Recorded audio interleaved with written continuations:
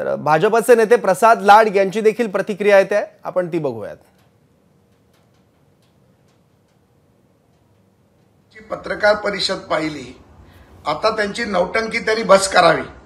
समाजाच्या नावाखाली मागच्या सात आठ महिन्यात स्वतःचा राजकीय वरदस्त करण्याचा जो प्रयत्न जरांगे पाटील करत होते त्याच्या मागचा बोलवता धनी कोण आहे त्यांनी सांगावं. सिल्वर ओक आहे का जालन्यामधील भैया फॅमिली आहे? आणि हे खरं खरं आता लोकांसमोर यायला लागले. आणि तुम्हाला दहा वेळा सांगितलं होतं की फडणवीसांचं नाव घेऊ नका. ज्या फडणवीसांचे मराठा समाजावरती अनंत उपकार आहेत त्या फडणवीसांनी मराठा समाजाला आरक्षण दिलं त्या फडणवीसांचं सारखं सारखं नाव तुम्हाला घ्यायला कोण लावतंय हे आज जनतेसमोर आलंय.